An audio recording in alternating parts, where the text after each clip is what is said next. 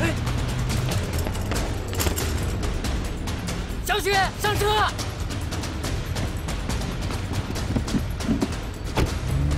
走。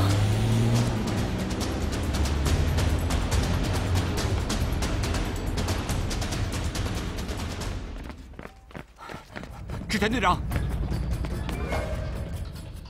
刚刚接到消息海军公寓遭到袭击。什么？上车！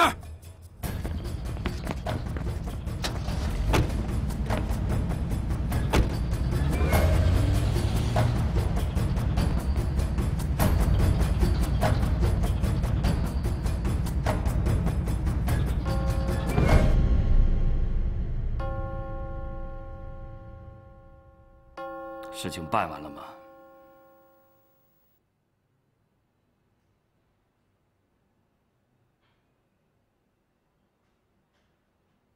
先去洗个澡。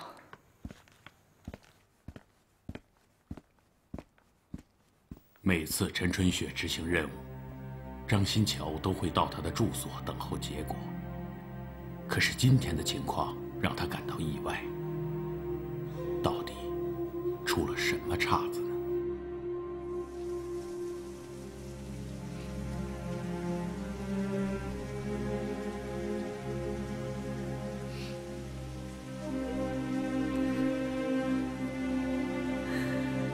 陈春雪去海军公寓抓梁介，是为了通过他找到另外两个仇人。可是，他没有想到自己会意外杀了梁介。陈春雪为自己的失误而懊悔。梁介死了，追查其他仇人的线索也就断了。陈春雪不敢相信，他苦苦等待了十年的复仇机会，就这样毁在了自己的手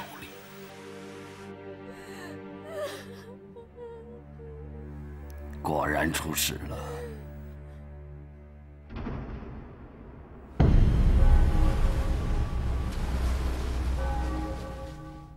这是案发现场的照片。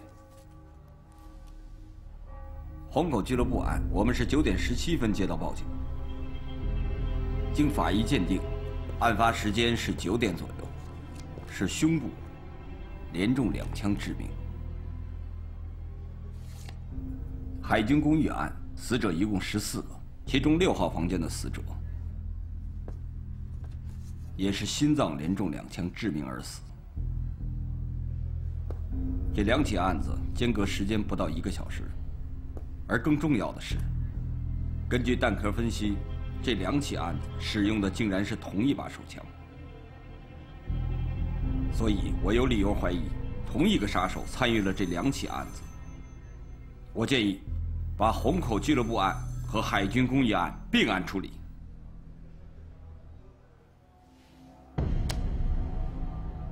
我认为竹内君遇刺案。也可以同这两个案子并案办理，因为竹内君也是被两枪击中心脏殉职的。虽然凶手使用的武器不同，但手法很相似。啊，虹口俱乐部的那个女人查的怎么样了？有服务员见过，据说是个颇有姿色的女人，可是没有人认识她。可以从田培然的社会关系方面入手。要尽快查清楚。是。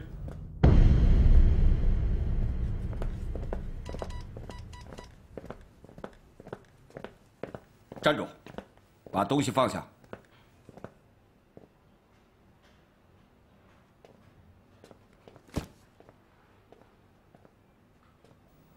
谁让你把东西搬走的？田先生不在了，但这些工作需要人接手。从现在开始，没有我的命令，在调查结束之前，这个房间里的任何东西都不能搬出去。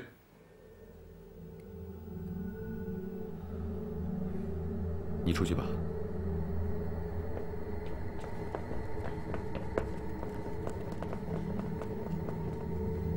你是田佩然的秘书。是的。前天晚上田佩然到虹口俱乐部见谁。老板的事情我不是很清楚。是吗？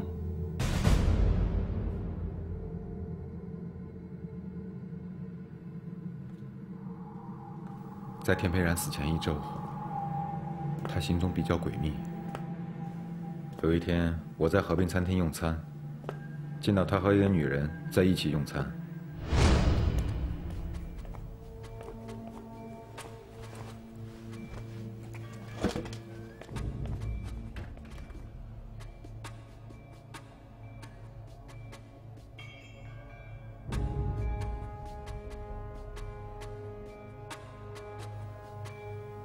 当时我很奇怪，因为他事先告诉我，他身体不舒服，要在家休息，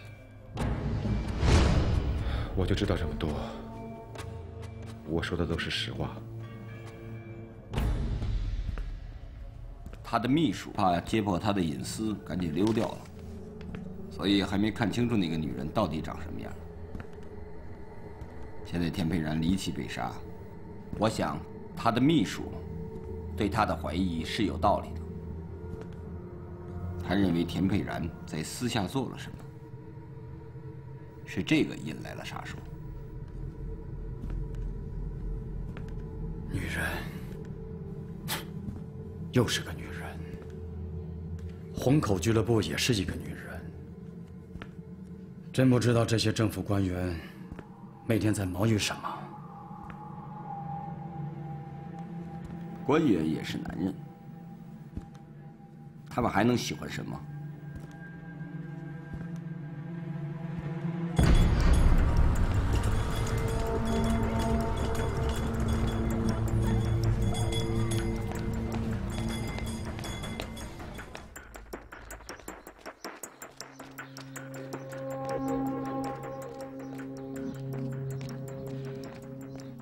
老爷，有麻烦了。怎么了？虹口俱乐部那边传出来的消息说，日本人他们发现，在小雪的刺杀现场曾经有一个女人出现过，后来这个女人就不见了。日本人怀疑她是刺客，现在正在全力追捕。对了，听说那里的服务员已经被日本人带去给那个女人画像了，你说他会不会看到过小雪呢？小雪怎么就没跟我提起过这个女人呢？他们怎么这么不小心，还留下了活口？哎呀，可不能让日本人找到那个女人。这个报上有什么消息没有？啊，我还没来得及看，全都在这儿。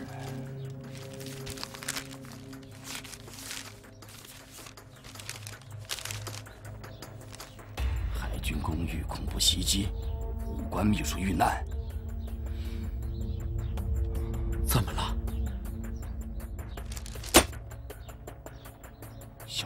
杀错人了。啊，对了，海军公寓房间里的那个死者身份，你查到没有？他叫坂本信，海军上士，是上海领事馆武官的秘书。这是他的照片。据海军提供的情况，他是十三天前到达上海的。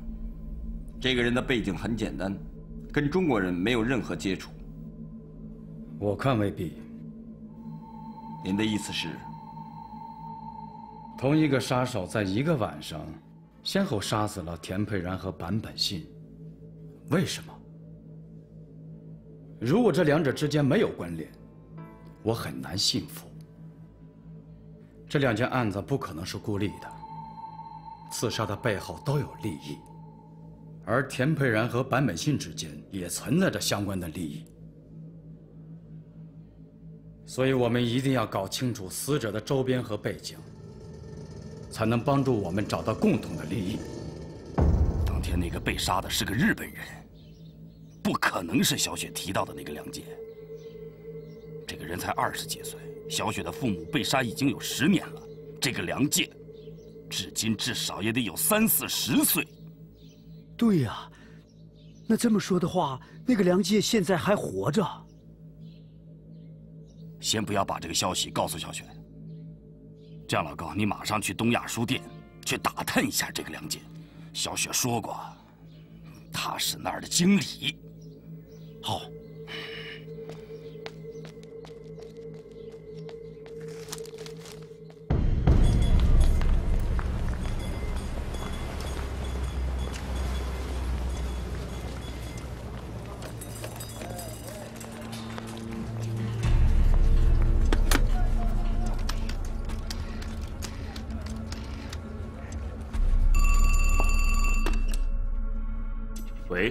是东亚书店吗？是。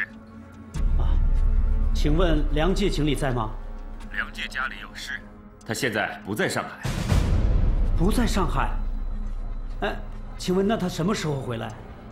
哎呦，这个我们就不太清楚了。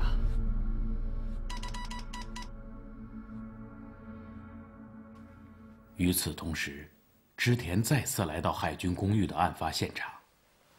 他不明白的是，一个初来乍到的年轻海军上士，为什么会成为刺杀的目标？这个版本信背后，究竟隐藏着什么样的秘密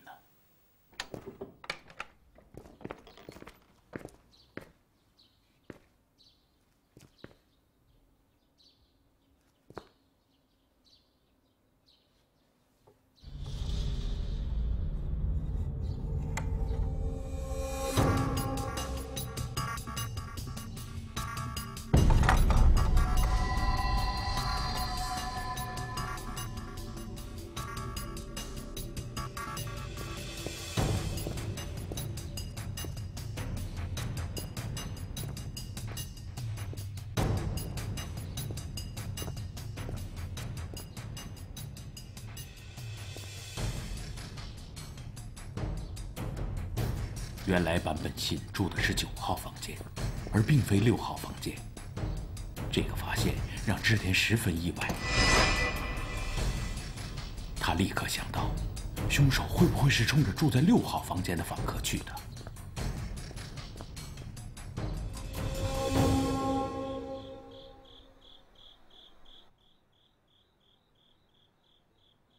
虹口俱乐部的那个女人是我们最大隐患。你们不应该留着他。我当时打昏了他，他应该没有看到我们。问题是，他没被打昏。在你离开后的第一时间，这个女人也消失了。这足可以证明她是在装昏。还有，你再想想，那个服务员是怎么死的？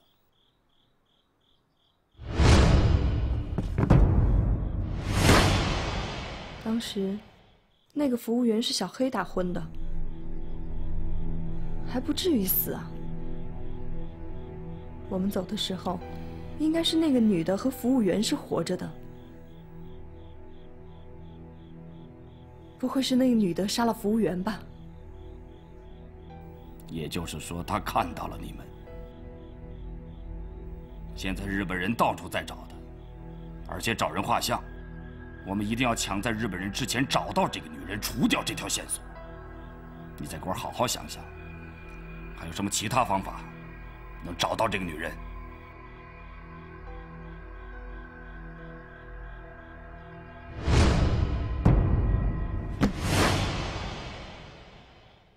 你记不记得，我当时是用一块手帕包住了手上的伤口？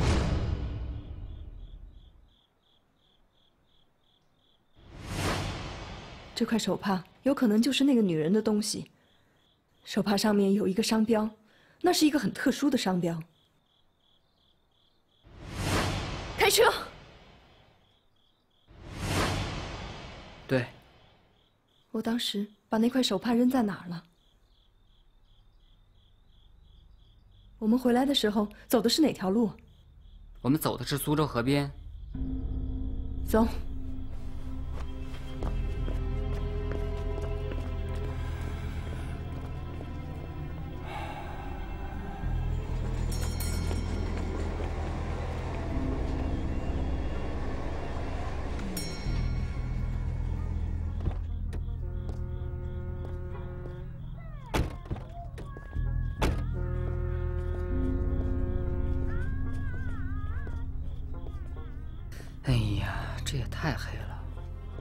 也许手帕上的商标根本说明不了什么。但是那是我们唯一的线索。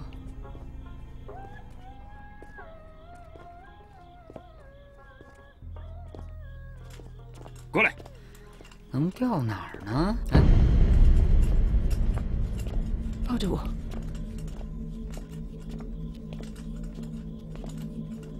嗯，什么人？你们干什么的？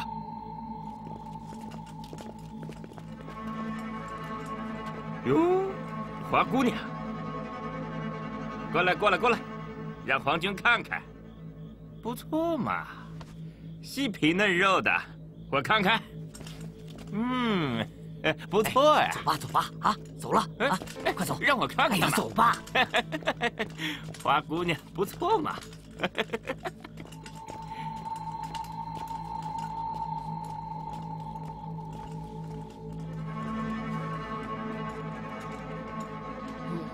不是有意的，没事，接着找吧。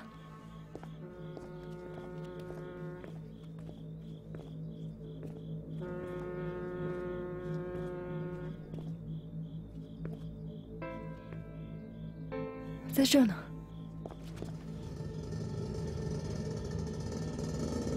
美丽服装店。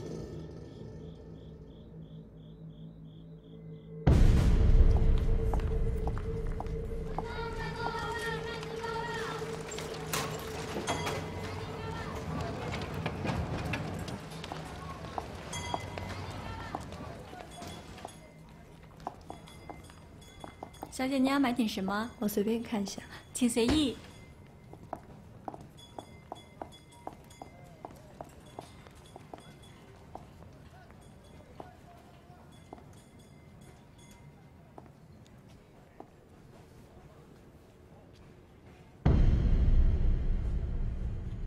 小姐，哎，这个可以绣上自己的名字吗？当然可以啊，我们这里做的就是高级定制。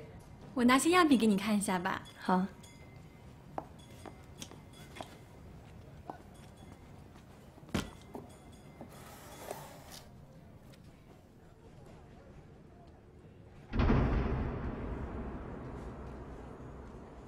这个很漂亮，这是，这是我们老板专门给自己设计的，很多客人都说漂亮呢。那能请你们老板帮我设计一下吗？没问题呀。不过现在他不在，明天你过来吧，我告诉老板一声，然后再给你约个时间。你们几点下班呢？五点钟。我知道了，谢谢。啊，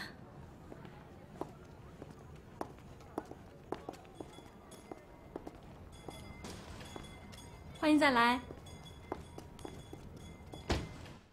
海军公寓我已经调查过了，六号房间是派遣军司令部事务科定的一个长期包房。案发至今，这个房间一直是空着的。但是，管理人员说，案发当日确实有人住在那儿。这个人的名字叫梁介，中国人。这事儿我不知道，他很可能用的是个假名。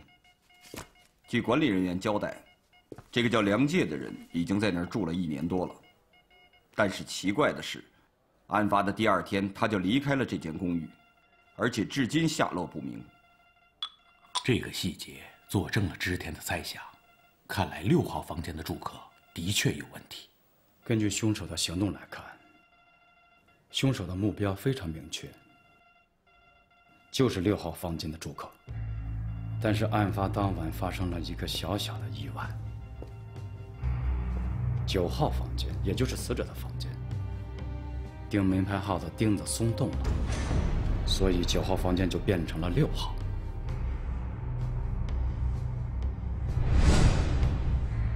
所以我们可以断定，坂本信之死纯属意外。凶手的目标就是六号房间的梁健。马上查清楚这个梁健。我已经跟派遣军司令部联系过了，他们马上就会给我们答复。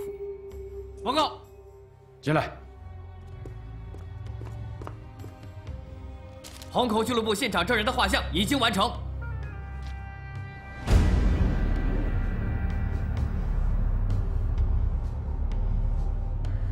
见过这个女人吗？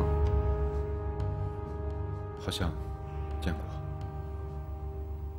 知道她是什么人吗？这个，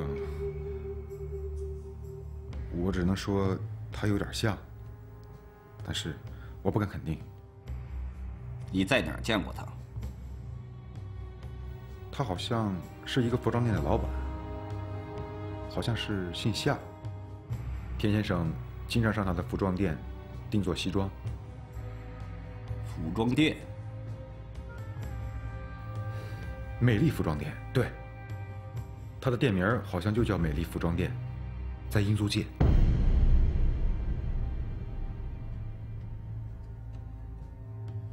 现在几点了？差十分钟五点。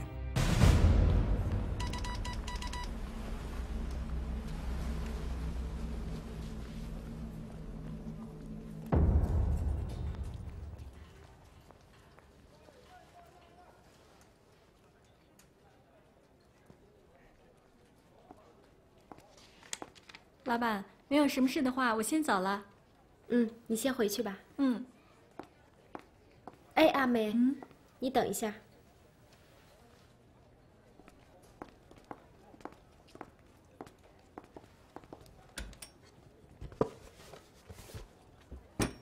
你把冯太太的旗袍带上，顺道给她送过去。好，你让她试试。我在领口处给她改了个新花样，看她喜不喜欢。这个还用担心吗？去吧。嗯。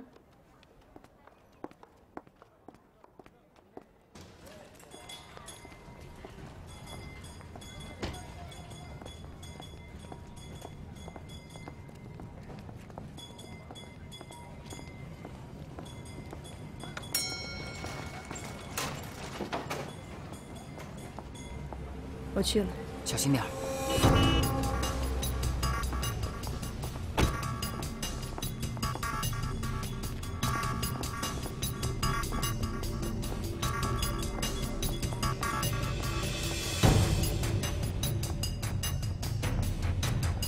什么事儿啊？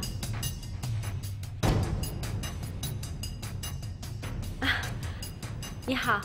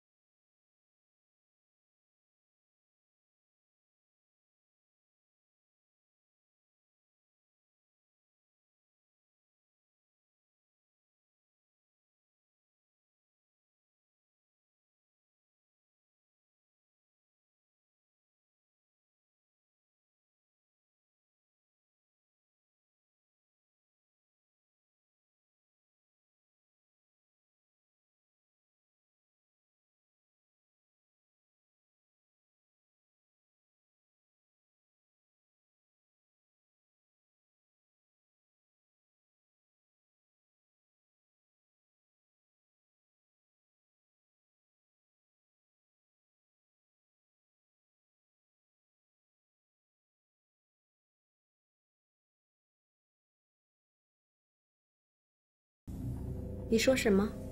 不要再演戏了，我们还是开门见山的好。我不明白你的意思。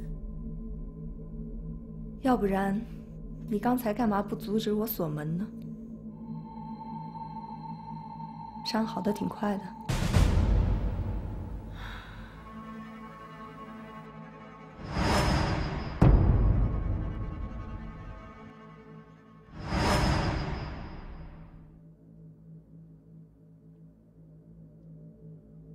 你是怎么找到我的？我在包厢里捡了块手绢，上面有你服装店的名字。我不会把你说出去的，我会替你保守秘密。我凭什么相信你？那你要我怎么做，才能相信我呢？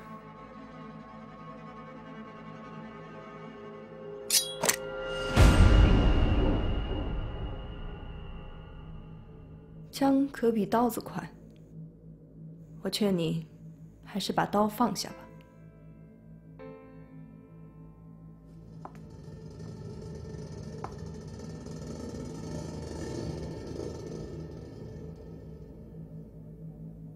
真是把不错的刀子，重心在中间，普通人完全用不着。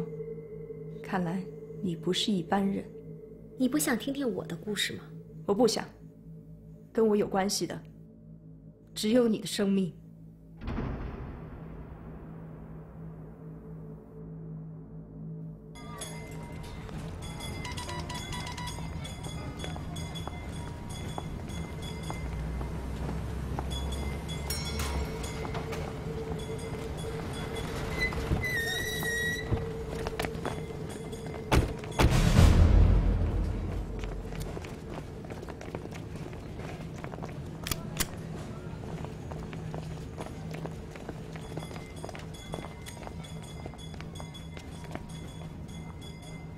边没人。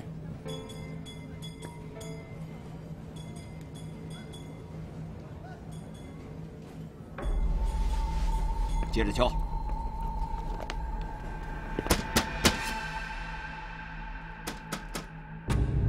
里面有人吗？开门呐！里面有人吗？开门！我来对付他。里面有人吗？现在就算你杀了我，你也逃不掉。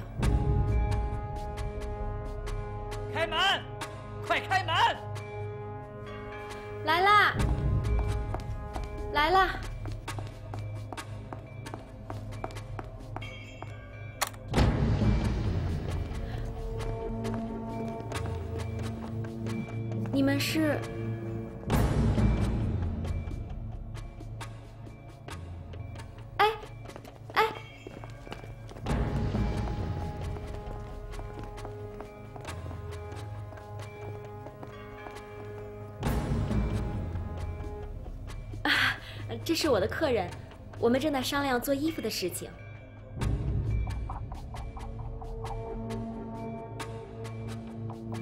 你是夏宝珠小姐，我是。我是宪兵队的藤野。有些事情希望你们能配合一下。可以啊，但是这里太小了，我们外面谈吧。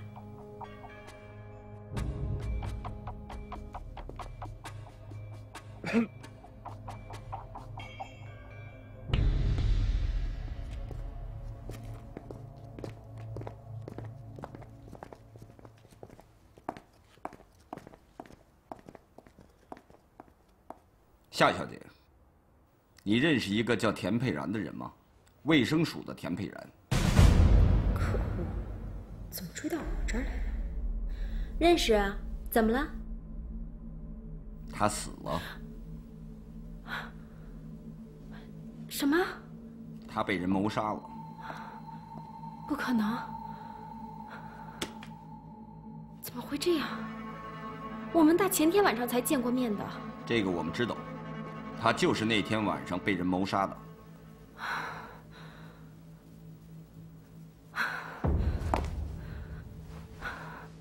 怎么会这样？这太可怕了。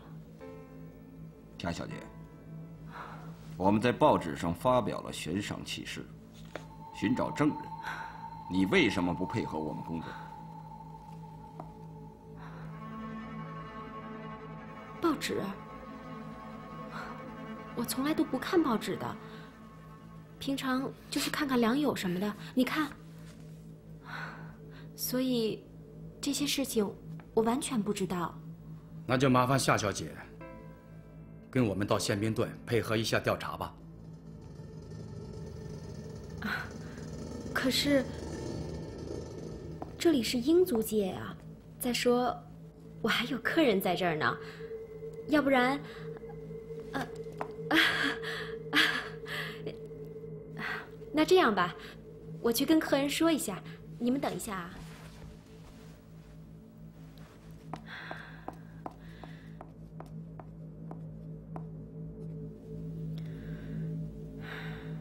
他们要把我带走，你先走，我们的事情改天说。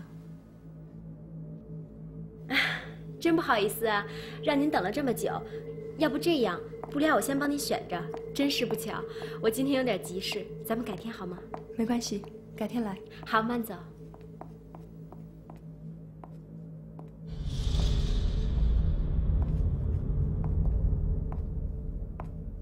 等一下。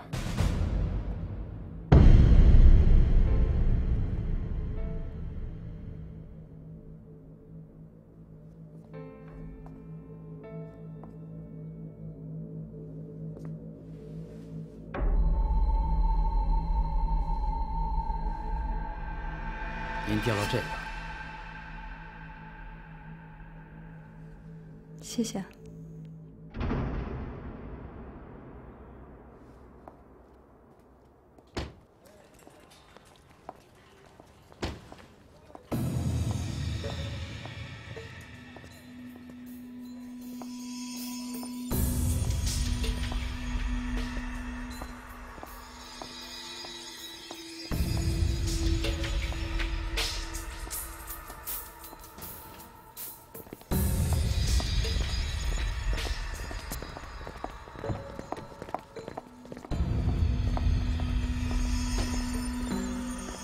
有两个人搜查一下，看看还有没有其他问题。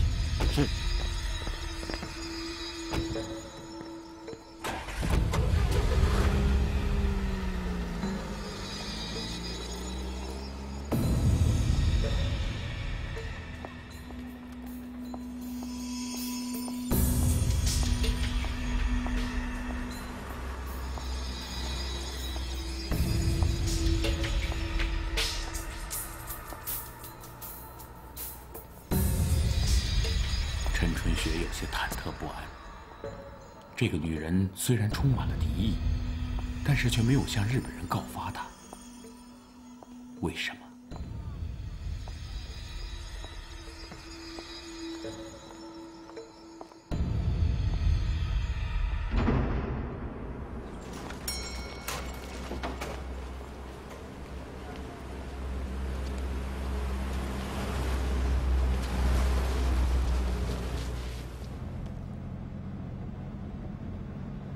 他为什么要救你？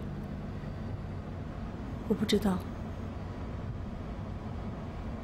他是不是害怕日本人在他店里开枪砸他店？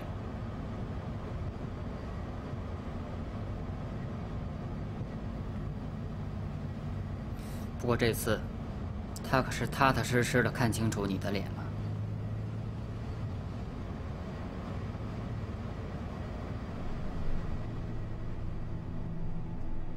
小黑说的对，如果这个女人改变主意，向日本人说出实情，陈春雪就危在旦夕了。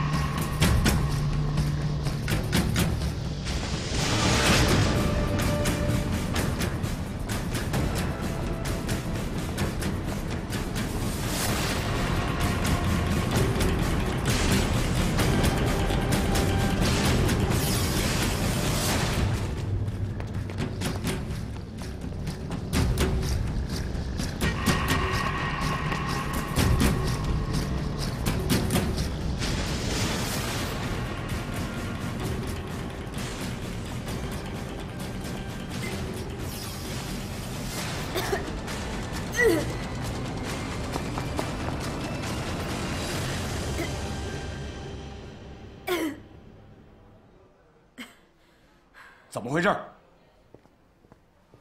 慢着！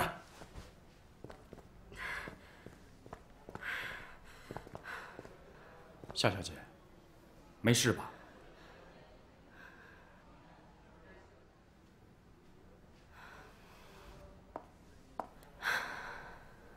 不好意思，这两天身体不舒服。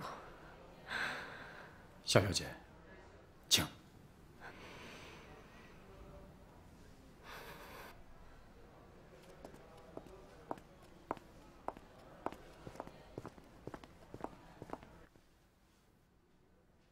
夏小姐，请你跟我们讲一下那天的经过好吗？那天，田先生请我吃饭，是几点钟？八点半。我们聊了一会儿，后来我有事儿就先走了。什么样的事情不能等田先生一起走？是点私事儿。啊，那你走的时候有没有发现别的人看到你离开？我走的时候挺着急的，走廊上应该是有人，但是人家记不记得我，我就不知道了。那你有没有发现别的人，也就是可疑的人？进入田先生的房间。别动！什么人？没有。实在太奇怪了，你和田先生八点半共进晚餐，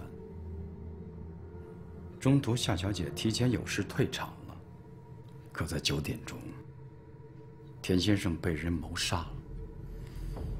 我觉得这顿饭吃的实在是太快了。怎么了，夏小姐？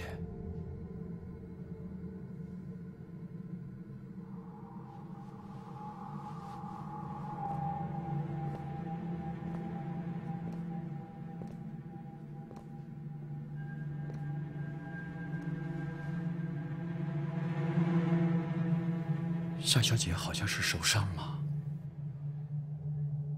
伤口还是新的，不会超过三四天吧。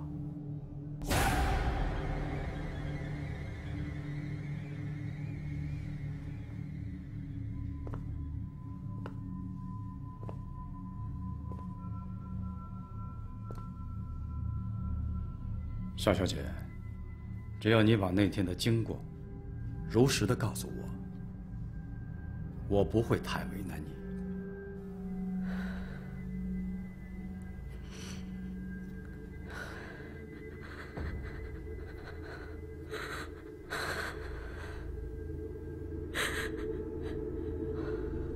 个天杀的田佩然，他说要娶我，原来他一直都在骗我，他骗我的财，骗我的色，我还傻乎乎的给他当枪使。他本来说要给我名分的，可是他现在又反悔，所以我跟他吵。没想到他就动手打我！你看，你们看，这是他打的，这是他打的，你知道吗？他居然动手把我打成这样子，我真是瞎了眼！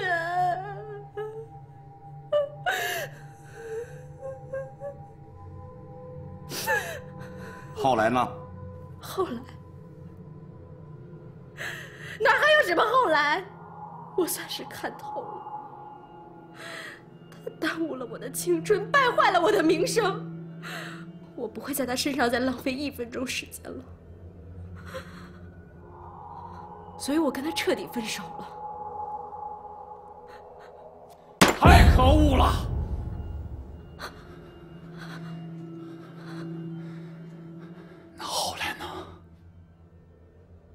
后来。后来我就头也不回的就走了。